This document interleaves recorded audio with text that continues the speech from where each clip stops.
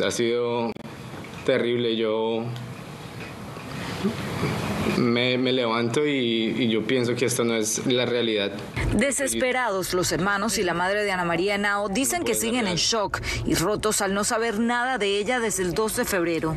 No puedes comer, no puedes dormir, no puedes vivir. Su hermano recordó la última conversación que tuvo con ella. Estaba bien, estaba contenta. Eso sí, se negaron a hablar de la expareja de Ana María, David Kenesevich, quien fue arrestado esta semana al llegar a Miami. En un informe detallado, las autoridades federales revelaron que tienen pruebas para creer que él está detrás de la desaparición.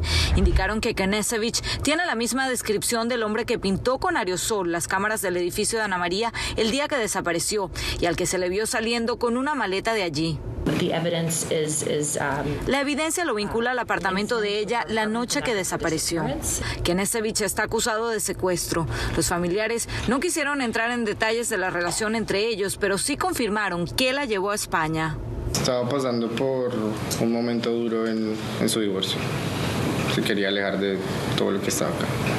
Y recordaron uno de sus planes a futuro. Ella quería eh, abrir una, una asociación sin ánimo de lucro para ayudar a mujeres eh, que necesitaban ayuda. ¿Abusadas? ¿Mujeres abusadas? Sí, sí, sí. sí. Y Knesevich tendrá su primera audiencia este viernes en una corte federal de Miami. Los abogados de la familia dijeron que están pidiendo que no se le otorgue libertad bajo fianza ya que tiene riesgo de fuga. Es la información que les tengo en Fort Lauderdale. María Alesia Sosa, Noticias 23, Univisión.